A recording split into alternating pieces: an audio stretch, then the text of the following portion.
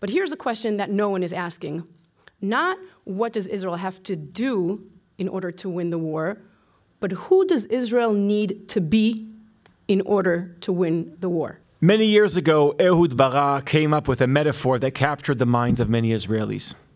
He said that Israel is a villa bajungel. It captured the minds of Israelis, and Israelis used it to try to think about our situation. And this metaphor is back ever since October 7th.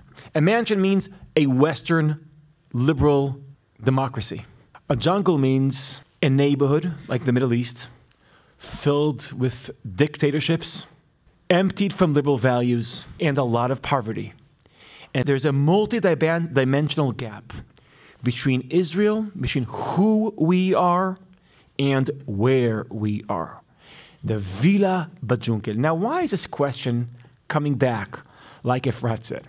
This question is coming back because ever since this war began, me and Efrat detected there's a voice in Israel that's growing loud.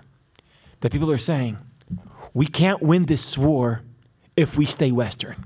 Westernism is making us weak, is making us spoiled, pampered.